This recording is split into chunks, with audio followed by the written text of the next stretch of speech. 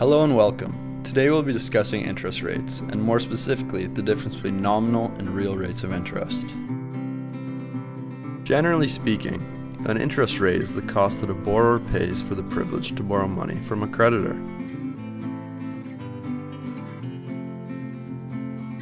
It is usually expressed as a percentage of the total amount of the loan and can basically be thought of as a rental charge on the borrowed capital. But there are two common ways of actually measuring the cost of borrowing money. The first is known as the nominal interest rate. The nominal interest rate is simply the stated interest rate of a bond, and it does not account for inflation. For example, if a bond has a coupon or interest rate of 5%, then its nominal interest rate is also 5%. And if a bond has a coupon or interest rate of 8%, then its nominal interest rate is 8%, and so forth.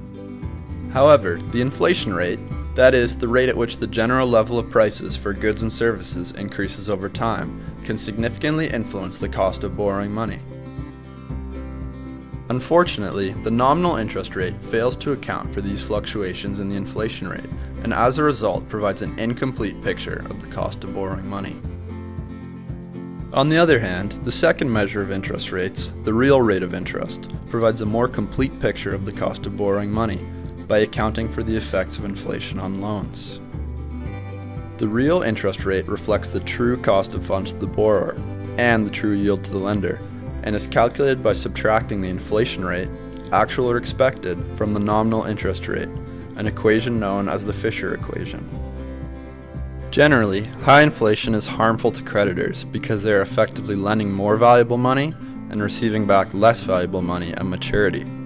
On the other hand, high inflation is beneficial to borrowers because while they have to pay back the face value of the loan at maturity, they are effectively paying back less than that because of the devaluation of the currency.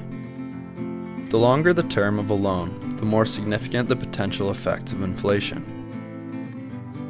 The benefit of the real interest rate is that by incorporating inflation in your calculations, you can assess whether in accepting a particular yield, you're actually gaining or losing purchasing power over time. So, in order to avoid the erosion of purchasing power through inflation, investors usually consider the real interest rate rather than the nominal rate. Thanks for watching, and as always, if you have any further questions, please do not hesitate to give us a call or visit our website.